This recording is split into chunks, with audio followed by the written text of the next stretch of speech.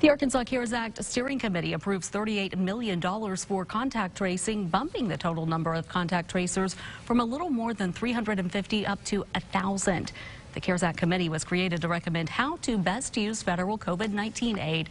In May, Arkansas Department of Health leaders requested $22 million for contact tracing.